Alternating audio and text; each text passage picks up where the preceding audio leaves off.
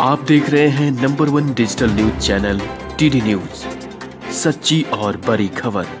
नमस्कार आप देख रहे हैं टीडी न्यूज़ मैं हूँ प्रवीण। हम इस वक्त मौजूद है पटना में और आज यूपीएससी का एग्ज़ाम था। आज छात्र एग्ज़ाम दिए हैं और आए हैं। आइए उनसे बात करते हैं जानते हैं कि आज उनको पेपर दिए हैं कैसा पेपर गया है। नमस्कार स्वागत है हमारे चैनल में। नमस्कार।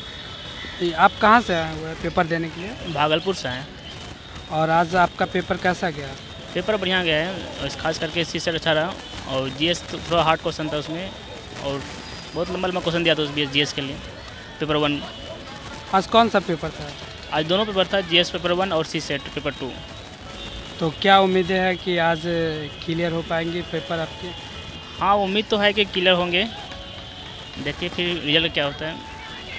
भैया आप कहाँ से आए? मैं खगड़िया डिस्ट्रिक्ट से आया हूँ मैं स्कूल से। अच्छा क्या नाम हुआ आपका? मेरा नाम मनीष कुमार हुआ। आज आप लोगों का कैसा पेपर गया? ओवरऑल ठीक गया। पेपर वन जो था जीएस का जनरल स्टडी वो थोड़ा हार्ड था तो उसमें थोड़ा प्रॉब्लम हुआ है। पेपर टू नॉर्मल था सी सेट वाला वो अच्छा गया है। अच्छा तो इस क्या लगता है कि इस बार पेपर क्लियर हो जाएगा? अभी कंफर्म नहीं कह सकते हैं रिज़ल्ट आने पर ही पता चलेगा क्योंकि पेपर वन जो है जो कॉन्फिडेंस आना चाहिए वो ऐसा नहीं गया। इसीलिए अभी हम नहीं कह सकते हैं कि होगा ही। कितना दिन से तैयारी कर रहे थे आप लोग? हम दो साल से तैयारी कर रहे हैं। तो इस बार क्या लगता है कि कहीं बीपीएससी की तरह इसका भी पेपर तो लीक नहीं हो जाएगा? नहीं नहीं यूपीएससी में ऐसा अभी तक नहीं हुआ है। यूपीएससी का एक अपना डिग्निटी है और कॉन्स्टिट्यूशनल बॉडी है तो वो अपना सम्मान बना के रखेगी। यूपीएस बीपीएससी जैसा बुरा हाल यूपीएससी कभी नहीं करेगी। मेरा मानना है। आप कितना दिन से तैयारी कर रहे हैं? ये मेरा फ़र्स्ट टाइम है और मैं पिछले एक साल से तैयारी कर रहा था। अच्छा क्या लगता है इस बार मतलब ये जो पेपर हुआ है कहीं इसका तो क्वेश्चन लीक नहीं ना हो जाएगा? नहीं नहीं ऐसा नहीं होगा। ये यूपीएससी है बीपीएससी नहीं है जो बार बार लीक हो जाएगी। और ये प्रतिष्ठित से संस्था है। सिविल सर्विस एग्ज़ाम में तो कहीं लीक नहीं होना चाहिए। होता भी नहीं अभी तक हुआ भी नहीं अभी तक।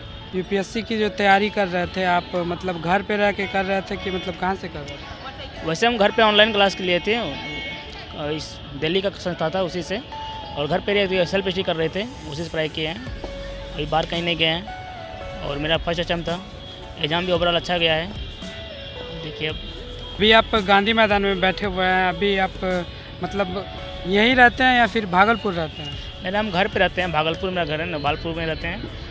और अभी ट्रेन मेरा दस बजे है इसलिए गांधी मैदान में वेट कर बैठे हैं इसे टाइम वेस्ट कर रहे हैं। मतलब कि टाइम इन्वेस्ट हो रहा है इधर। अच्छा आने जाने में कितना परेशानी होता है? परेशानी तो बहुत होता है ट्रेन तो पूरी फुल रहती है खड़े होकर आना पड़ता है।